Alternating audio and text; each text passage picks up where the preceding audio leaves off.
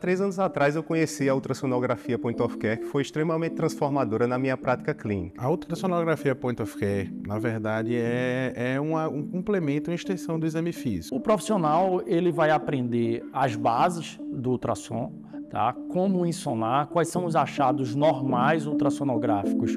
O curso de ultrassonografia Point of Care ele é indicado para qualquer médico qualquer médico que trabalhe com um paciente grave ou trabalhe com um paciente que necessite de uma resposta clínica rápida e eficaz.